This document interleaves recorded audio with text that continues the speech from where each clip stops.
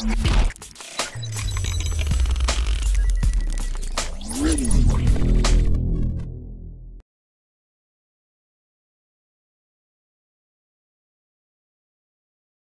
Friends இந்திய அணியோட முன்னாள் கேப்டன் தான் மகேந்திர சிங் தோனி.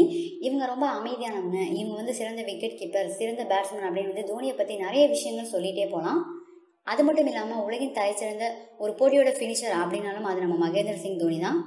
நம்ம மகேந்திர சிங் தோனியை ஒரு போட்டியில் ஆறாவது ஏழாவது இடத்துல பேட்டிங்கில் இறக்கி விட்டாலும் அந்த ஆட்டத்தை அதிரடியாக விளையாடுறவங்க தான் நம்ம மகேந்திர சிங் தோனி அதிக ஆவரேஜும் வந்து வச்சுருக்காங்க. இந்நிலையில் மைக்கேல் வாகன் இவங்க இங்கிலாண்டோட முன்னாள் கேப்டன் இவங்க கிட்ட ஒரு ரசிகர் வந்து மைக்கேல் பவன் ஒரு சிறந்த ஃபினிஷரா இல்லை தோனி சிறந்த ஃபினிஷரா அப்படின்னு கேட்டிருக்காங்க. மைக்கேல் பவன் பார்த்தீங்கன்னா ஆஸ்திரேலியாவோட முன்னாள் வீரர். இவங்க ஒன் டேல நாற்பத்தாறு ஃபிஃப்டி எடுத்திருக்காங்க ஆறு சதம் அடிச்சிருக்காங்க. டெஸ்ட்ல ஆறு ஃபிஃப்டி அடிச்சிருக்காங்க. பவுலிங்கில் அப்படின்னு பார்த்தீங்கன்னா டெஸ்ட்டில் இருபத்தொம்போது விக்கெட்டை கைப்பற்றியிருக்காங்க. ஒன் டே மேட்ச்சில் முப்பத்தாறு விக்கெட்டை கைப்பற்றியிருக்காங்க. மைக்கேல் பவன் சிறந்த ஃபினிஷரா இல்லை தோனி ஃபினிஷரா அப்படின்னு வந்து அவங்க கேட்டிருக்காங்க. அதற்கு மைக்கேல் வாகன் வந்து யோசிக்காமல் தோனி தான் வந்து சிறந்த ஃபினிஷர் அப்படின்னு வந்து சொல்லியிருக்காங்க. இந்த வீடியோ உங்களுக்கு பிடிச்சா லைக் பண்ணுங்கள் ஷேர் பண்ணுங்கள் நம்ம சேனலை சப்ஸ்கிரைப் பண்ணுங்கள்